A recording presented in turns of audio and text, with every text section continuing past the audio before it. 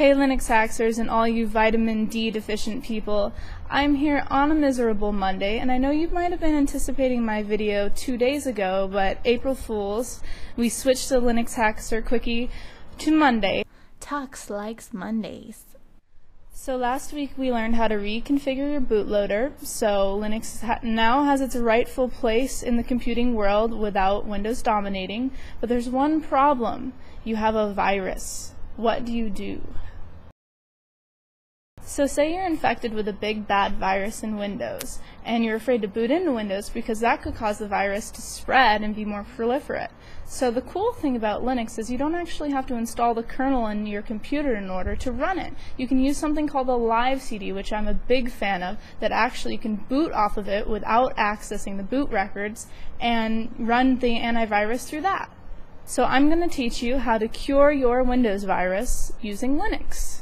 And we all know that Linux is safe, stable, and sexy, so this should be some pretty easy commands for you guys to follow. Check it out. So I have my faithful Ubuntu Live CD, and I have to enable the repository, so I'm going to System, Administration, and Software Sources. And then be sure to check all four boxes from downloadable from the internet and reload while it downloads the package information. And you can actually do this without the internet, uh, but then you'd have the command line interface. So if you want the graphical front end, then that's what you do. And so I just pulled up the terminal there. Then type sudo apt get install clam tk and I'm sorry that the code isn't the easiest to read. If you rewind it, I type it in big letters for you. And uh, I'm just saying yes to continue with the installation, and then I'm going to fast forward until it's done.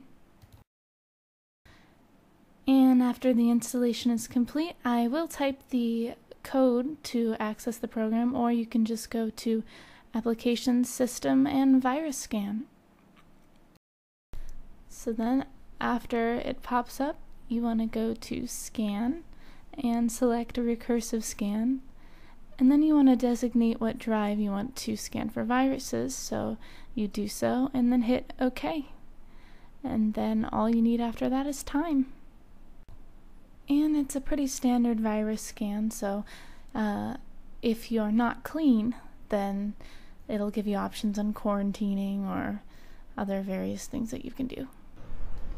So that's it on learning how to cure your Windows machine using Linux. Make sure next time you use protection and turn off JavaScript.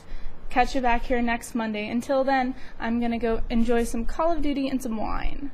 See you later.